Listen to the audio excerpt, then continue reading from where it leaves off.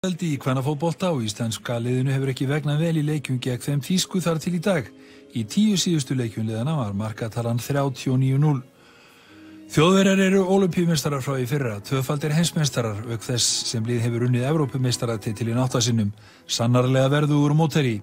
Íslandika byrjuðu leikin af miklum krafti og þegar stundafjörungu var búinn skoraði Dagný Brynjarsdóttir.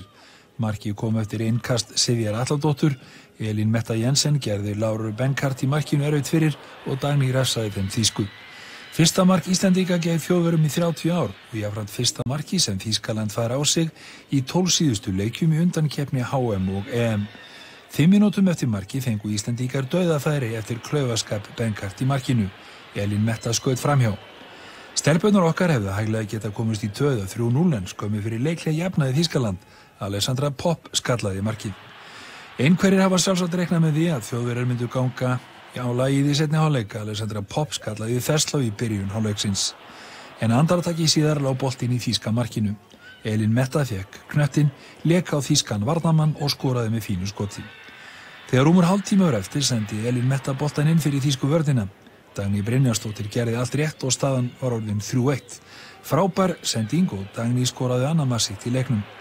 Íslandika fengur færi, en þegar tvær mínútu voru eftir að venjulegum leiktíma slapp var að maðurinn Lea Schüller í gegn og minkaði munin í 3-2. Þjóðverðar svottu stíft á loka mínútunum en náðu ekki að kristja fram jöfnunamarki. Frábær sigur á þjóðverðum, liði sem er í öðru sætu heimstistanum.